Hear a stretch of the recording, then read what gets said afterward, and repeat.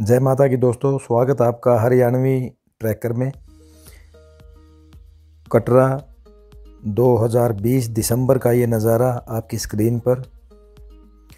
दोस्तों सराइन बोर्ड द्वारा पंद्रह हज़ार यात्री डेली अलाउड कर रखे हैं कि पंद्रह हज़ार यात्री डेली आ सकते हैं। लेकिन आज भी वहाँ दो हज़ार, तीन हज़ार के बीच ही यात्री पहुँचते हैं। कंट्रोल रूम जिसमें कुछ इंस्ट्रक्शंस हैं और इमरजेंसी नंबर है।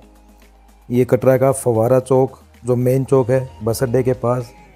दुकानदारों में आज भी वहाँ मायूसी और हताशा देखी जा सकती है, क्योंकि एक वक्त था जब कटरा के अंदर पैर रखने के लिए भी जगह नहीं मिलती थी, और आज सारा कटरा माता वैष्णो देवी का पहाड़, त्रिकुटा पर्वत बिल्कुल सूना है। दोस्तों, आपकी जानकारी के लिए बता दूँ कि ठंड वहाँ बहुत ज़्यादा बढ़ गई है। जो भी आदमी सर्दी में बाहर घूमने का शौकीन है, वो बेशक जाए, लेकिन बुज़ुर्गों को और बच्चों को अवॉइड करना चाहिए इस वक्त। हो सकता है कि एक दो दिन में वहाँ बर्फ़बारी भी हो जाए। और ये देखिए आपकी स्क्रीन पर, कटरा का मेन बाज़ार। यात्री नाम मात्र ही दिखाई दे रहे हैं। जो रौनक यहाँ प्राय देखने को मिलती थी, वो कोसों दूर है। और ये त्रिकुटा पर्वत का, रात का भव्य नज़ारा आपकी स्क्रीन पर। माता रानी, आप सब पर कृपा बनाए रखे। ऐसी मेरी माँ से प्रार्थना है।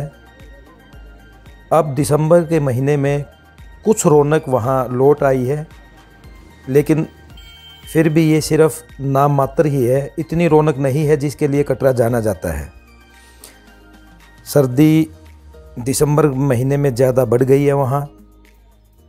अगर आप वहाँ जाएँ तो अपने साथ गर्म कंबल, अपनी जो दवाइयाँ हैं, वो लेकर जाएँ और जो कटरा का जो सूनापन है माता रानी के दर्शनों के लिए जो भक्तजन नहीं जा रहे हैं, उसके मेन दो कारण हैं। नंबर एक कोविड और नंबर दो ट्रेन का ना चलना।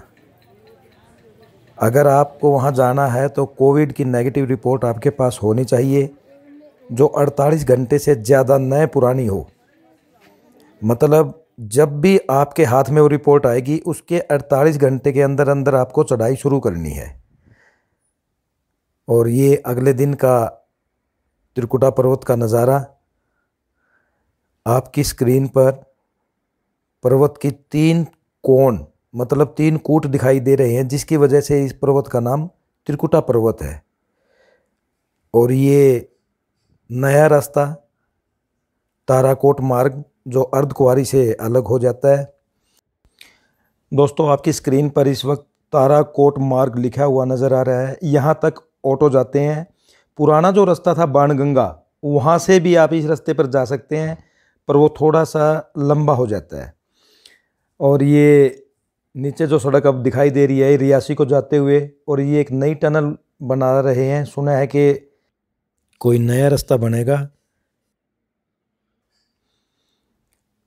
और ये देखिए, माता रानी के पहाड़ का भव्य नज़ारा आपकी स्क्रीन पर, और मनमोहक, सरपीले मोड़ सड़क के माता रानी, आप सब पर कृपा बनाए रखे। चैनल को लाइक करना, शेयर करना, सब्सक्राइब करना दोस्तों। जय माता की।